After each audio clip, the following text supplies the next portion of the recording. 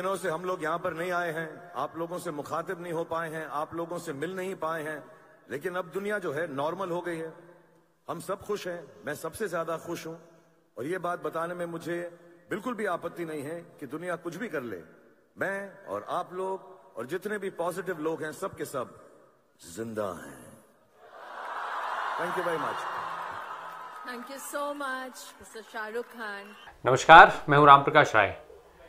शाहरुख खान की फ़िल्म पठान का जो विवाद है, उन विवादों के बीच ही कोलकाता फ़िल्म फेस्टिवल पर भी विवाद गहरा गया है।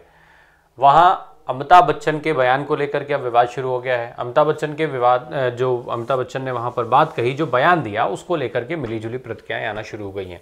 आजकल का नया ठिकाना जहाँ पर ज़्यादातर विवाद जन्म लेते, पलते और बढ़ते हैं, वो है सोशल मीडिया। सोशल मीडिया पर अमिताभ बच्चन के इस वीडियो को लेकर के अलग अलग राय शुमारी होना शुरू हो चुकी है। दरअसल अमिताभ बच्चन ने गुरुवार को जो कोलकाता में फ़िल्म फेस्टिवल का 28वें एडिशन की जो शुरुआत हुई, वहाँ पर उन्होंने एक बयान दिया। वो जो बयान था, वो फ्रीडम ऑफ़ स्पीच को लेकर के था। अमिताभ बच्चन ने अपने बयान में कहा कि देश को आज़ादी मिले, कई साल बीत चुके हैं, लंबा अरसा बीत चुका है। इसके बावजूद भी आज भी नागरिक की स्वतंत्रता और जो फ्रीडम ऑफ़ स्पीच है, उस पर सवाल उठाए जा रहे हैं। अमिताभ बच्चन ने इसके आगे और भी बातें कही।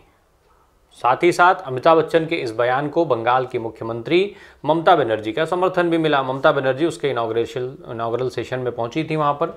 उन्होंने अपनी बात में कहा कि अमिताभ बच्चन ने जो बात कही वो आ, उसके लिए बहुत हिम्मत चाहिए वो हर कोई नहीं कह सकता है। और वो जो उन्होंने बात कही, वो उसका समर्थन ममता बनर्जी की तरफ़ से किया गया। अब जब इतना हुआ तो फिर ज़ाहिर सी बात है कि इस पर प्रतिक्रियाएँ भी आनी थी।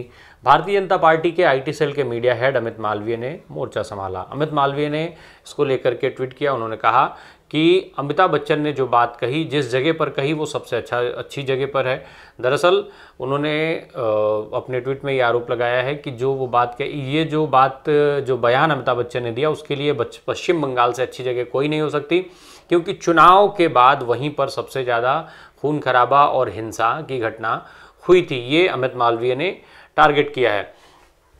अमिताभ बच्चन ने अपने बयान में हेट ऑफ़ स्पीच और नागरिकों के अलावा और भी बातचीत की, उन्होंने कहा कि दर्शकों को जो है वो हल्के में नहीं लिया जा सकता है, उनके पास हर तरीके का कंटेंट होता है, हर तरीके की जानकारी होती है और साथ ही साथ ये उनकी मर्ज़ी है, उनकी रुचि है कि वो किस कंटेंट को कहाँ और कैसे देखना चाहते हैं। अमिताभ बच्चन का ये बयान तब और ज़्यादा महत्वपूर्ण हो जाता है जब इस समय और पहले से ही शाहरुख खान की आने वाली फ़िल्म पठान को ये एक गाने में जो अभिनेत्री हैं दीपिका पादुकोण, उनके कपड़ों के रंग को लेकर के पहले से बवाल मचा हुआ है। सोशल मीडिया पर इसको लेकर के कई तरीके के पोस्ट आ रहे हैं। बाइकॉट का ट्रेंड चलाया जा रहा है। साथ ही साथ मध्य प्रदेश के गृह मंत्री नरोत्तम दास मिश्रा का बयान आता है। इसके लिए बाकायदा वहाँ पर शायद फ़िल्म को बैन करने की भी तैयारी है। इस तरीके की खबरें मीडिया में आ रही हैं। तो ये सारा जो है, ऐसे समय पर आता है जब ऑलरेडी फ़िल्म इंडस्ट्री से एक विवाद का जन्म हुआ रहता है। दूसरा, अब जब फ्रीडम ऑफ़ स्पीच की बात हो जाती है तो एक धड़ा जो है पूरी तरीके से सोशल मीडिया पर सक्रिय हो जाता है।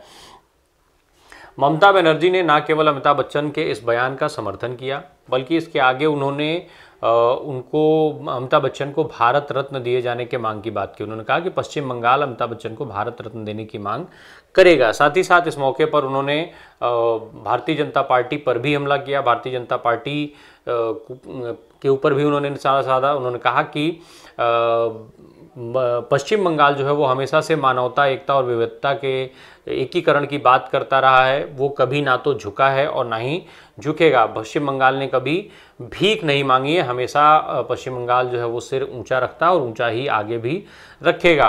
फ़िल्म, इस फ़िल्म फेस्टिवल में कई फिल्मी हस्तियों ने शिरकत की थी। महेश भट्ट ने अपने बया, अपने विचार रखते हुए उन्होंने ये बात कही कि जो वेस्टर्न कल्चर की बात होती है, जो वेस्टर्न सोच की बात होती है, उसको आप नकार नहीं सकते। आज की समाज में उस सोच ने एक जगह बना ली है समाज में और उसे आप नकार नहीं सकते। वो जो विचारधारा है, वो नकारी नहीं जा सकती है। इस मौके पर मशहूर फ़िल्म अभिनेता शाहरुख खान भी मौजूद थे। शाहरुख खान का यहाँ पर भी जो बयान था, वो काफ़ी चर्चा में है। शाहरुख खान की जो फ़िल्म है, पठान, उसको लेकर के जो विवाद हो रहे हैं, इस विवादों के बीच में शाहरुख खान ने पहली बार कोई सार्वजनिक बयान दिया। उन्होंने अपने बयान में ये बात कही कि जो कंट्रोवर्सीज़ हैं, जो विवाद हैं फ़िल्म को लेकर के, वो तमाम तरीके के परिस्थिति को परिस्थिति जन्य होते हैं, उन विवादों को बढ़ाया जाता है, बनाया जाता है और इसके लिए सोशल मीडिया जैसे प्लेटफॉर्म का इस्तेमाल किया जाता है, जहाँ पर फ़िल्म को ट्रोल कराया जाता है, जहाँ इस तरीके के विवाद को जन्म दे करके और ट्रोलिंग होती है। साथ ही साथ उन्होंने ये भी कहा कि ये जो है वो मार्केट का फंडा है। सोशल मीडिया द्वारा ये जो है वो कलेक्टिव नैरेटिव सेट किया जाता है। इसका उन्होंने हवाला दिया कि उन्होंने किसी रिपोर्ट में ये बात पढ़ी थी कि सोशल मीडिया पर कलेक्टिव नैरेटिव सेट किया जाता है, जिसका इस्तेमाल जो है कॉमर्शियल वैल्यू को बढ़ाने के लिए किया जाता है। इससे मार्केट में चीज़ें आती हैं और फिर उससे प्रॉफिट कमाने का काम किया जाता है। तो इस तरीके की चीज़ों का भी उन्होंने ज़िक्र किया। आपको बताते चलें कि शाहरुख खान और दीपिका पादुकोण की जो फ़िल्म है पठान, उसको लेकर के लंबे समय से विवाद चल रहा है। वो विवाद जो है, वो एक पर्टिकुलर गाना जो अभी रिलीज़ किया गया था, उस गाने में अभिनेत्री के द्वारा पहने हुए जो बिकनी है, उसके रंग को लेकर के वो पूरा विवाद चल रहा है। वो दरअसल कपड़ा जो है, वो भगवा रंग का है और भगवा रंग पर ही सारा विवाद है।